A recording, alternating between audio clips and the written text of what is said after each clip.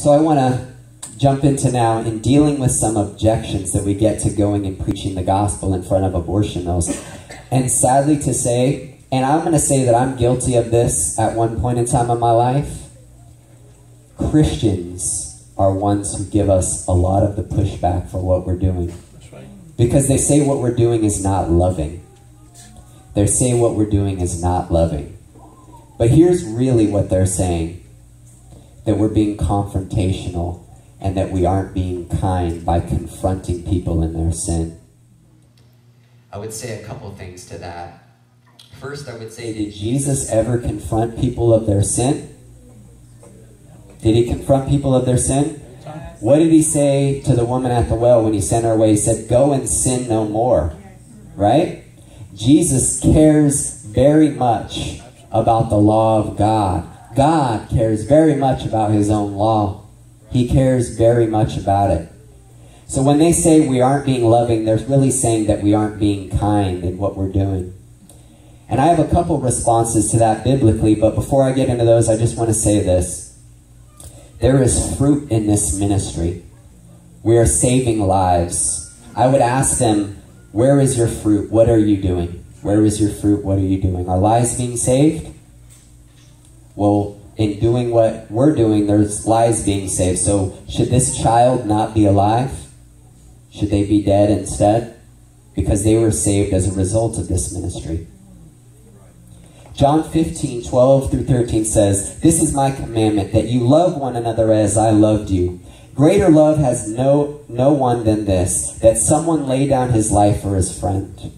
That is love. sacrificial. It's sacrificial. Romans 12, 9 says, Let love be genuine. Arbor what is evil and hold fast to what is good. Love has to be defined, and God defines it for us. Love doesn't just love everything. Love doesn't just tolerate everything. Think about that. It says love arbors, hates what is evil, and clings to what is good. And Romans 13, 9 through 10 wraps it up for us. It says, For the commandments, you shall not commit adultery, you shall not murder, you shall not steal, you shall not covet, and any other commandment are summed up in this word You shall love your neighbor as yourself. Love does no wrong to a neighbor. Therefore, love is fulfilling the law. Love doesn't kill a neighbor. Love doesn't steal from or covet. Love is that we lay down our lives for our brothers and sisters, that we lay down our lives for our neighbor. Love hates what is evil and clings to what is good.